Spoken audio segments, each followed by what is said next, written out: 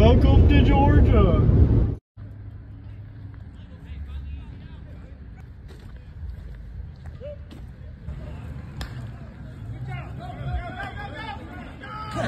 My boy Jizz, baby. What's up, guys? How you doing, bud? Oh.